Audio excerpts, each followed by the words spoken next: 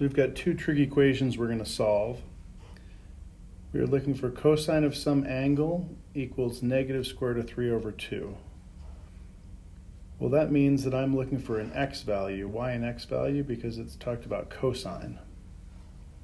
Cosine refers to x.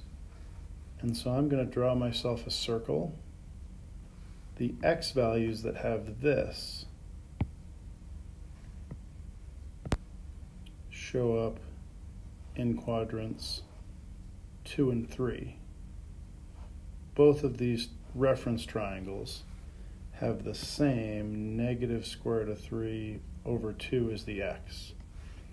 This one is pi 5 pi over 6, and this one is 7 pi over 6 around the unit circle. Those are the only ones that will have the negative x coordinate that you see here. So these are the two solutions because we're looking for everything between 0 and 2 pi. So 5 pi over 6 and 7 pi over 6 are the answers. For the second question, you're asked for the smallest positive angle. So that's only going to be one angle.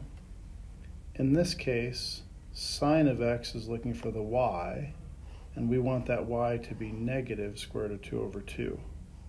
Well, that's going to be one of our 45 degree reference triangles, either this one, negative square root of 2 over 2, or this one, also with a y of negative square root of 2 over 2.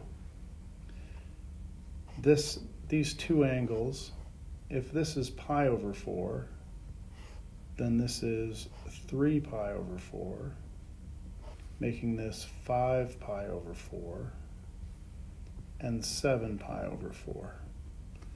So 5 pi over 4 and 7 pi over 4 are both correct, but only one of them is the smallest positive angle.